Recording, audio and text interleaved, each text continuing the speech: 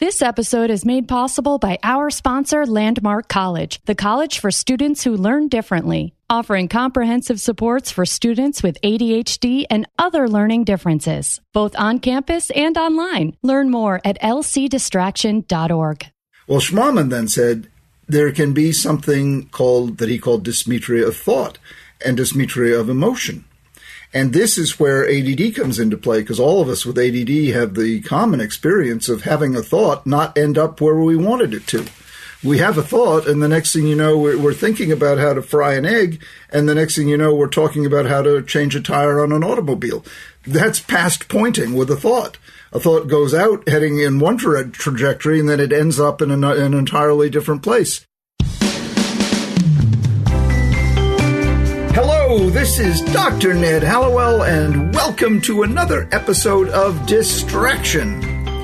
Today, I am lucky again to have my dear friend and brilliant mentor and all around wonderful human being, Dr. John Ratey, professor of psychiatry at Harvard Medical School, uh, 2016 named the Outstanding Psychiatrist of the Year for advancing the field by the Massachusetts Psychiatric Society an internationally recognized expert on many topics in, in psychiatry and the brain, not to mention life. Uh, he's uh, truly a, a, a, master of the field and and um, uh, always curious and trying to branch out and discover new ideas, new projects, new ways of understanding the amazing apparatus, most amazing phenomenon in all of nature called the brain.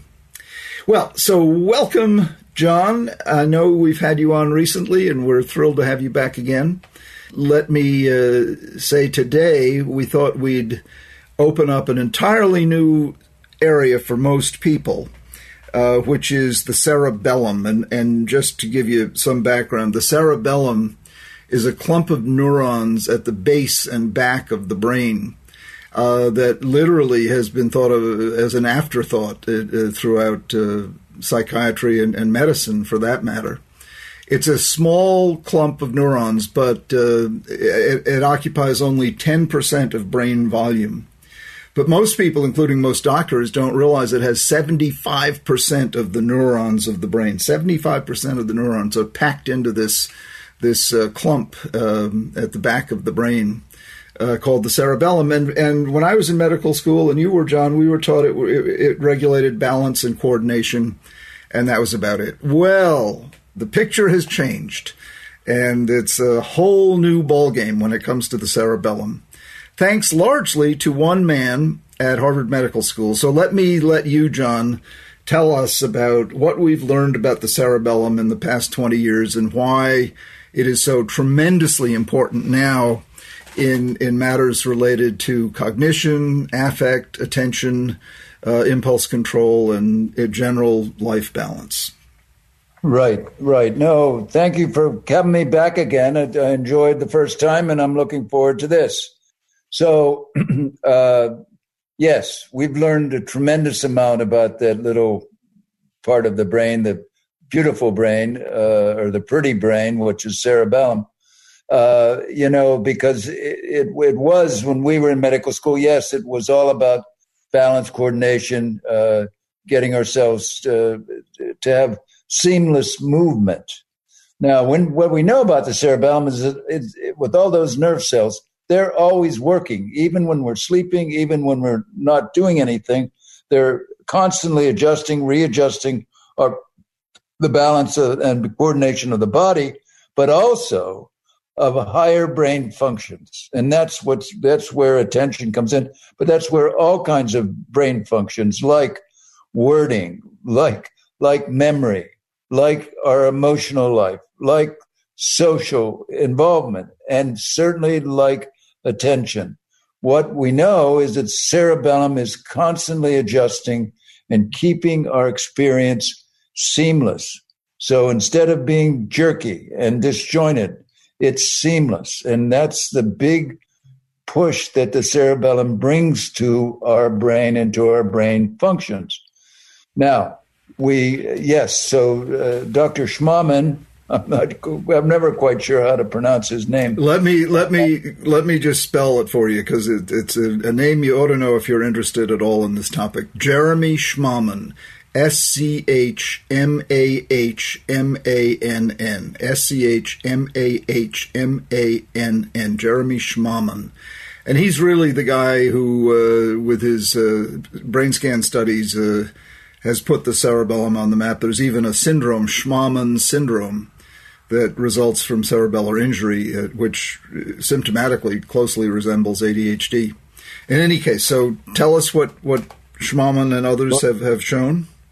Well, what what he showed and, and others uh, early, you know, in in the nineties, that uh, if the cerebellum is out of whack, if it's not functioning properly, you will have motor problems. And we've known this. Uh, you know, the cerebellum is responsible, for instance, for helping us pass or fail the sobriety test to be able to walk tandemly or to finger to nose kind of tests that so they might We've always known that. So what's what's the new stuff?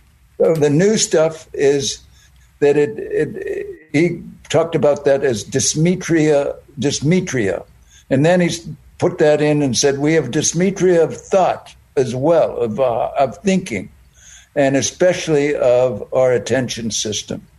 Uh, the attention system needs this kind of contribution from the cerebellum to achieve its wonderful balance and seamless working.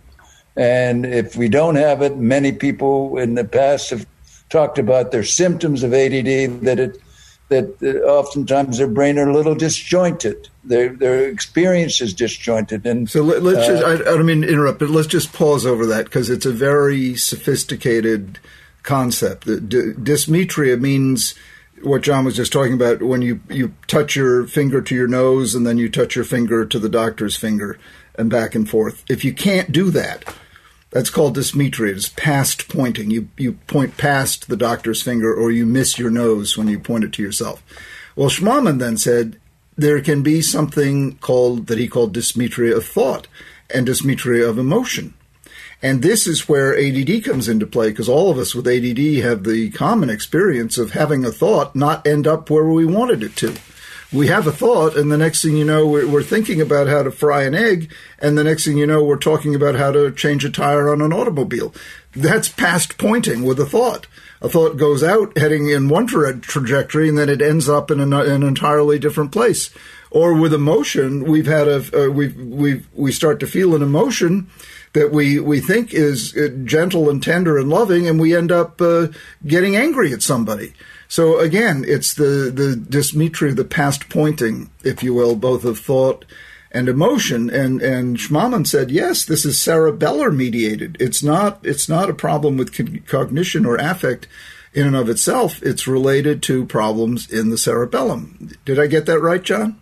No, you sure did. And, and it is true that, that yes. And so he, amongst others, be, began to say, hey, the cerebellum is involved even in mood regulation, even yeah. in, and so you see cerebellar differences in people who get depressed.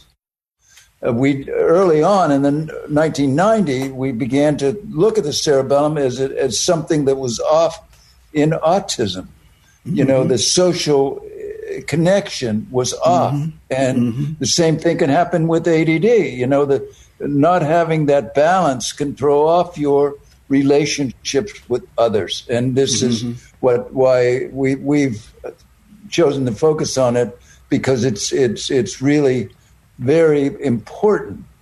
And what we see in in a lot of kids is that they have discoordination syndrome. They are not very balanced and coordinated, and uh, that plays a part in their attention problems. And so, what we've done is begin to treat the cerebellum with exercise, with cerebellar training that helps to regulate the cerebellum. And uh, on and by the way, it then helps regulate the attention system.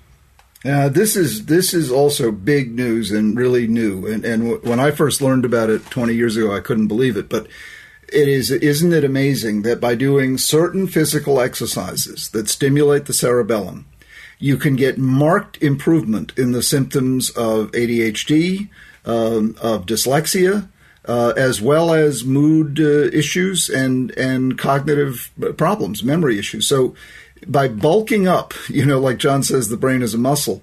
By bulking up the cerebellum, by challenging it with exercises that that require you to balance and that become progressively difficult. So this is very specific exercise. It's not just doing any old exercise, although every exercise usually includes some measure of balance. But these are specifically designed, like standing on one leg or standing on one leg with your eyes closed or standing on one leg with your eyes closed while doing arithmetic uh, calculations, you know, so you're, you're further challenging the brain.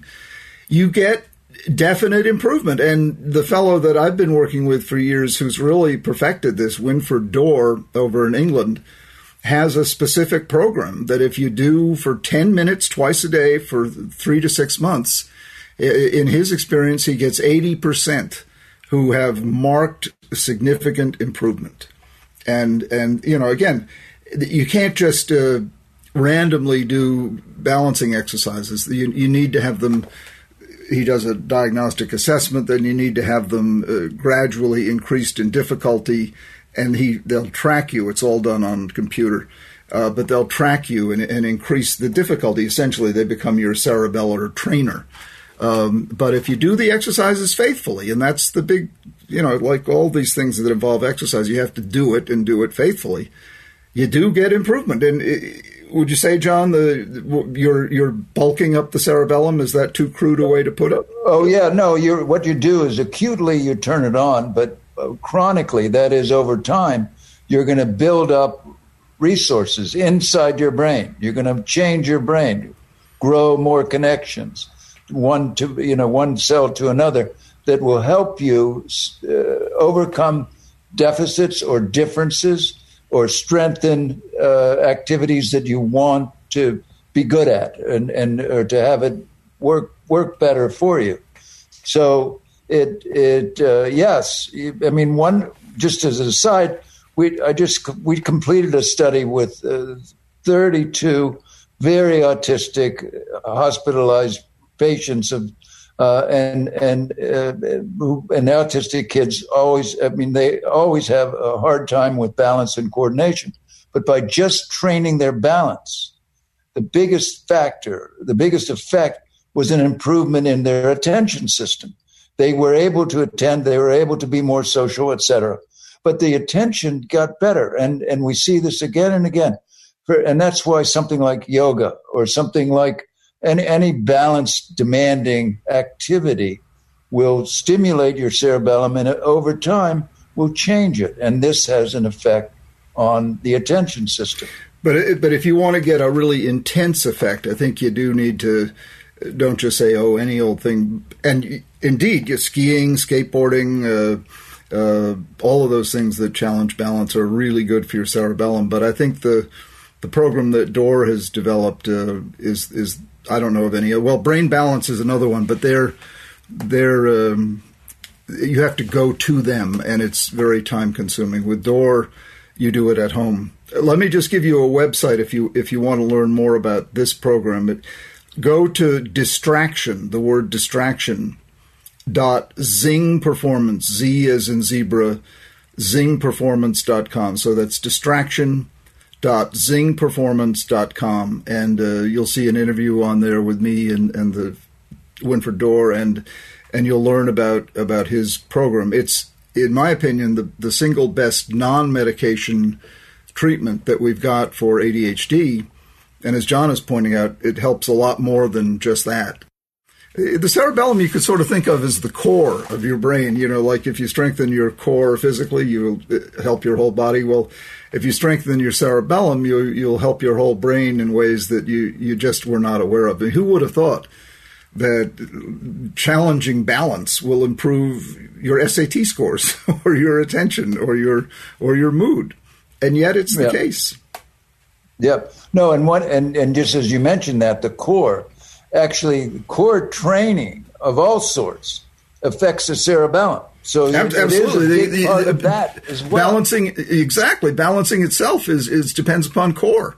Yes. You know, so you you know you've got you've got the two working in tandem, and the visual cortex plays a very important role because when you when you close your eyes, it's a whole lot harder to maintain your balance. Yes, it is. it is, and we learned that with our friend uh, Simon. Simon, our uh, Russian uh, trainer. Uh, I called him my torturer and spark, but, uh, because he'd always come up with more harder things to do. And yes. when we we got on the the Bosu ball, which is uh, an unbalanced kind of thing, and uh, could stand there for ten seconds, but then he said, "Okay." On one leg, and we could do that eventually and, he, and, then when he said, "Okay, close your eyes," we right. fell off. I mean, you know, it, he could always push us that we couldn't do it. You know, exactly. he, he, we wouldn't rest until we failed. It was, uh, you know, I I'll tell you a funny story about him. I wrote about him in one of my books, and I said he was uh, built like a brick outhouse. Uh, using the polite term, and uh, and he he was reading the book, and he he didn't recognize the term, so he showed it to his wife, and, and he said, "What does this mean?" And she said, "Simon, he's saying you look like a toilet."